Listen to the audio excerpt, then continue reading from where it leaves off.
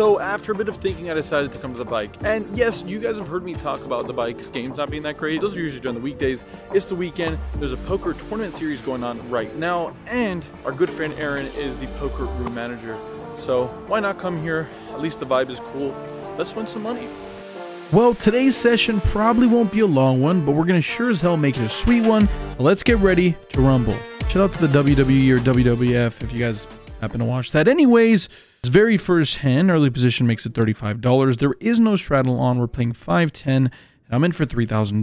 $35 to go is worth the early position player makes it. I'm the cutoff with ace 8 of clubs. Feels like a decent hand to call with, so I do that. Small blind calls as well. And we're going off to a flop that comes 7-6-4 rainbow. With the action checked over to the initial raiser, he actually ends up betting really big here for $75 going about 75% of the pot here with the action on me, considering I do have a gut shot as well as some backdoor equity. I think it'd be a fool to fold here, so I go ahead and make the call. Surprisingly, the small blind calls as well. we're going off to a turn card that comes at 10 of spades. Pretty good card, as you guys can see, we now pick up a double gutter. Any 9 and any 5 now give me a straight. This does introduce a backdoor flush draw as well, and with the action checking over to me, I think taking my ace side of showdown has some merit. We don't want to bloat the size of the pot here, and we want to realize our equity. The last thing we want to do is bet here, get raised, and have to make a fold. Make sure to check this back, and we go off to a river card that comes a queen of clubs. So all the flush draws miss, most of the flush draw, straight draw situations miss as well. And with the action over to the initial raiser, he decides to bet $200. This is pretty interesting for a couple of different reasons. I think it's going to be really hard for our opponent to ever have better than one pair on this river. And now the question becomes is, can he ever bet fold a hand like queen 10 or queen jack? There is a small chance that our opponent can be bluffing with a better hand. So instead of hero calling, I decided to do something a little different. I block ace queen here, which is definitely what our opponent can be betting for value on this river. And I also happen to block the straight that does come on the turn. I decided to throw out a raise for $700. First hand of the session, I promised myself I wouldn't be blasting off. The situation granted this for me. I think it'd be a really, really strong idea, and I look super strong here raising on this river, and he ends up making the fold. So nice hand there, easy one to pick up. Happy we were to happy we were able to catch on that weakness on the river. The one thing I will say pretty quickly is that I never change seats unless I'm changing tables. Outside of the 1 and 9 seat, which are just not vlogger friendly, they're impossible to see flops. You can't see any of the action that's going on at the table. Outside of that, I never see change. Even if a so-called VIP or action player comes to the game, I think it's just poor etiquette. I'm sure this is up for debate in the comment section. Let me know what you guys think down below. But in my humble opinion, if you think you're better than somebody, it doesn't matter if you're in position or out of position. You're probably going to be plus EV either way.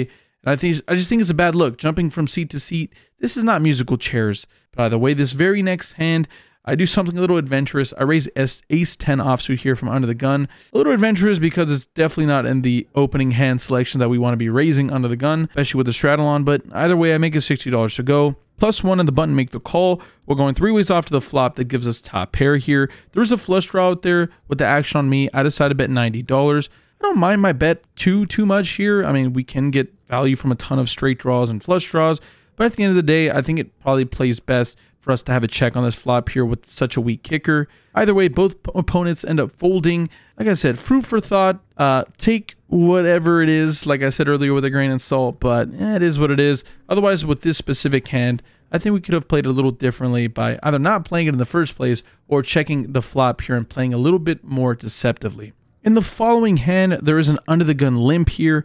The next to act player is a pretty solid pro. He decides to raise to $80 as an isolation. The button makes a cold call, and I find myself in the small blind with an absolute ringer of a hand. I look down at Big Slick here. This is an obvious candidate to squeeze, so I go ahead and do just that. I make it $300 to go. My point here is very simple. I need to get as much money in the middle now as I can. We're out of position. The best thing we can do is probably try to get this heads up. That is going to be not the case, as the player here from the big blind ends up jamming for less for $190. Our opponent who initially raised decides to call, and the button calls as well. Four ways off to a flop that is not very interesting, as it comes 884 Rainbow.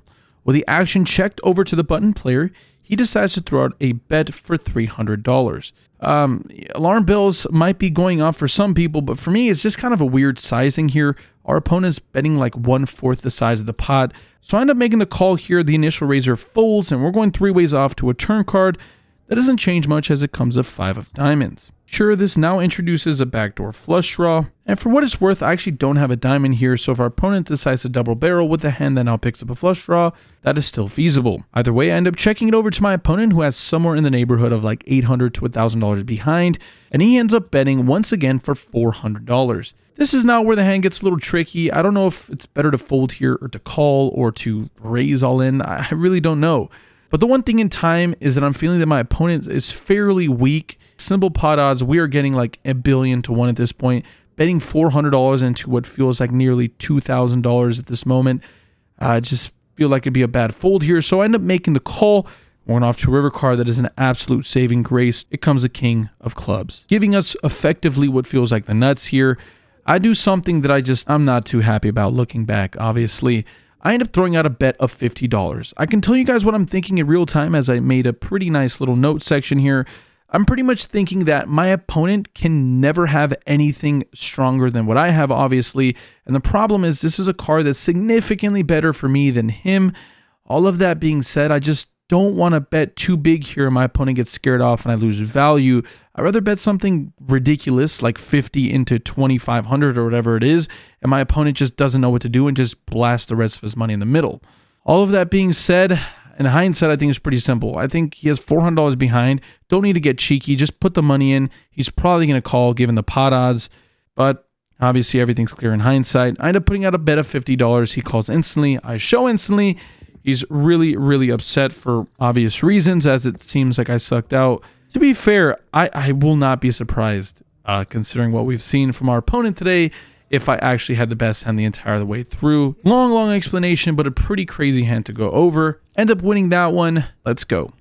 A few hands have gone on from the last one, and I mean a few hands, like literally just two hands, I think, have gone on beyond this point. There's a straddle on here. I'm under the gun with Ace King Big Slick once again. Our card distribution is out of this world. We make it $60 to go. The button and the small blind make the call, and our opponent from the last hand is not having any of it.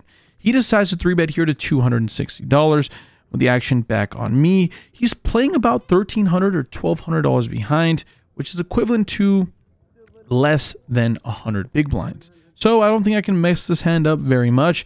I decide a four bet here, looking to get the money in the middle if it needs to. Otherwise, taking down what feels like $400 pre-flop for free without showdown is also a great idea to me. I end up making it $700 to go. Don't need to go too big here. I think the point is just to get stacks ready to go in the middle, or at least make it look like that. Both other uh, just callers pre-flop make the fold, and the small blind decides to fold his hand as well. Happy to take that one down. Let's start over to a mid-session update to see how we feel about this game. Right outside of the Live of the Bike room. Uh, quick restroom break, kind of like mid-session update. I don't see myself playing much longer. The game is pretty, pretty, pretty bad. So, I don't know. I guess today's going to end up being quick session. Surprise. I thought with the Friday, the tournament series, the games would be good. But, alas, not as good as what we've been playing with the private game, the home game. Mm, kind of getting spoiled. But, either way, let's hop back into the session. Let's finish it up. This following hand takes place right as I come back from our mid-session update, so forgive me as uh, there's no video in this hand. I am not capable of bringing out my phone fast enough, but in this hand I have Ace-Jack suited in the spade variety here. There is a straddle on. I'm on the button. I make it $60 to go. Our opponent from the straddle decides to 3-bet here to $220. I go ahead and make the call. I'm going off to a flop that comes 5, 4, 3 with two clubs and a spade. Our opponent decides to c-bet for a small sizing of $150. I don't mind this at all. Lets me get to the next card pretty cheaply, but I do have two overs, which can be good sometimes, and a backdoor flush run, a gut shot here. So I make the call, and the turn card comes, the five of diamonds. This ends up pairing the top card here when our opponent checks through. I'd imagine he'd be doing this with most of his range, so I'm going to go ahead and realize my equity, equity and check this back. And the river card comes a four of diamonds. The flush draws brick out, the straight draws brick out, and now we are left here with ace high. Even more interesting when the opponent decides to bet for $175.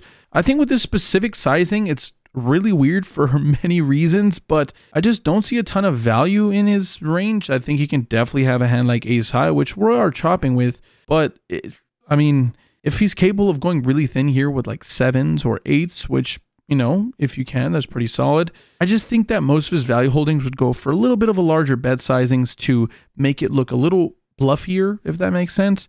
Either way, I end up calling after a little bit of thinking. Our opponent slam dunk shows King 10 offsuit. I don't know if he thought that was good or he was just upset that he got caught in a bluff. It's really hard to tell, honestly. I show my hand and it is in fact good, as ace high beats king high, at least in this version of poker. Taking down that pot feels pretty good. Things are getting very wacky in today's session. I'm in middle position with 5 6 of spades. I race a 60 as the straddle is on. Next to act makes a call, and the small blind makes a call as well. We're going off to a flop that comes 9 8 4 rainbow. With the action checked over to me, I decided to go for a little bit of a bigger bet here for $100. Both players make the call, and the turn card comes a Jack of Diamonds. Backdoor flush draw is now in effect here. When the action checked over to me, I think this is a reasonable card to double barrel. I'm going to have all the queen jacks here. I decided to double barrel here for $275. The opponent to my left is in what feels like a really, really tough spot. It seems like genuine indecision, but after quite a bit of thinking, he ends up deciding to putting more money in the middle. He ends up jamming all in for $1,075. The action back to the small blind, he goes deep into the tank before deciding to just call. With the action on me, with six high, I just am not getting the right price to draw here. So I make a pretty easy fold. The river card comes a seven of clubs here. It would have actually given us a straight. And at this point, our opponent on our left ends up saying, What the hell did you get us into? Well, I got us into nothing as I ended up getting out of the way. I don't know what you got yourself into, but either way, our opponent from the small blind ends up saying, I have the nuts. And he does, in fact, as he shows Queen 10 offsuit. Good hand to you, sir. Moving on. As things continue to progress, in this next hand, the straddle is on under the gun limps. Actions on me in the small blind with king 9 offsuit. I decided to just call here. If I were to play this hand out of position in the worst position in poker, I think I should just be isolating the under the gun. I don't like limping ever. It's just not a part of my strategy. And uh, the old saying goes, never go broke in a limped pot. And it seems to hold true for the most part. Either way, the big blind limps Straddle checks his option, and the flop is okay as it comes ace 9 four rainbow. With the action checked all the way through, the turn card comes a 4 of clubs, bringing a backdoor flush draw. Action checks over to the straddle, who bets $30. Only I make the call, and the river card comes a queen of clubs. With the action checked over to our opponent, he decides to bet $100, which is pretty meaty. The action's on me, and I go into the tank. I think it's really hard to find a bluff here. All the draws complete on the river, and it's just really hard to bluff on paired boards. I don't take any of my own advice. I end up throwing the call here as curiosity gets the best of me. Our opponent shows Jack 4 offsuit, which is a turned trips there. Isolation is the only way that I think I can play it if I decide to put any money in the middle. And over that, whatever we ended up doing, okay, we got to the flop. But I think the best thing to do is just fold that river. If he has a bluff, you just got to tip your cap off and let him have the pot. Otherwise, just move on to the next hand. Moving on to the last hand of today's session. At this point, the video catches up here on the turn card, so we've got some catching up to do that happens pre-flop. At this point, the straddle has been taken off on the game. I'm on the button with king, queen offsuit. I race at $30. Only the small blind calls, and the flop comes out very reasonable as it comes queen 9-9 with two clubs. We do in fact have a club in our hand, which is outstanding. With the action checked over to me, I think I have a really, really easy c bet here for $25. A little worrisome when our opponent ends up raising our $25 bet to $100. Never fun playing raised pots on flops that are very dynamic, but the one thing I will say is I'm in position. I end up making the call here, and the turn card comes out a 5 of diamonds. The opponent decides to throw out a bet of $200 at this point. I don't think I can ever fold. Our hand can still be good here. We're going off to a river card that comes a 4 of clubs. At this point, I really feel this. I'm doing my best to work on catching light reads at the table, and I now look at my opponent trying to see if I can catch anything. Once again, as we saw earlier in that spot where I had 5-6, this is the same opponent, and I feel like I'm getting a very genuine form of indecision. I don't know whether that means good or bad. I don't know whether this guy has the nuts. Like I said, it, it's not always indecision that he doesn't know whether he should bluff or not. It could just be I have value and I don't know what to bet. Until he decides to bet $400. For that specific sizing, I don't think I can 5 and fold here.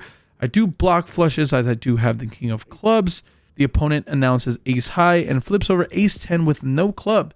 adventurous bluff from our opponent. And luckily for him, he ran into the one person I was willing to call down on all streets. Fairly pretty, you know, it was an okay session for us. We played a little wonky in some spots, and I think we really, really knuckled down on some live reads and some other ones. Either way, happy with a couple hands, disappointed in another hand, but that's going to bring an end to today's session. Let's go over to me in the parking lot to talk a little more about how today's session went. Alrighty, so the camera a little, there's some stuff on the camera.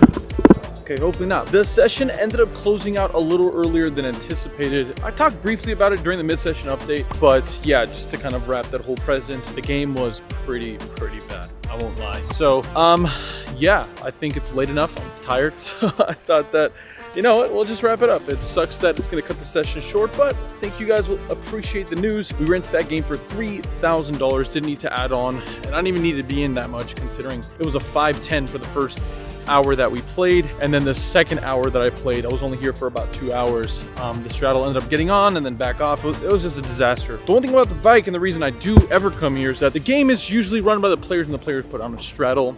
And beyond that you can buy them for 3k which means you're in a little deeper. But that was all pretty useless considering the straddle was off for most of the game. I know most of the hands we played the straddle might have been might have been on, but in real time that was only worth about, like I said, an hour maybe. So I appreciate everybody for coming through and supporting. Profit of nearly 2K. We'll take that every time. Now we got to get to the car and uh, head home. If you guys ever want to play in my private game that I've been telling you about, like I said, make sure to Instagram DM me. It's the only way we can play. Otherwise, stay happy, stay healthy. More importantly, run good at the tables, y'all. Deuces.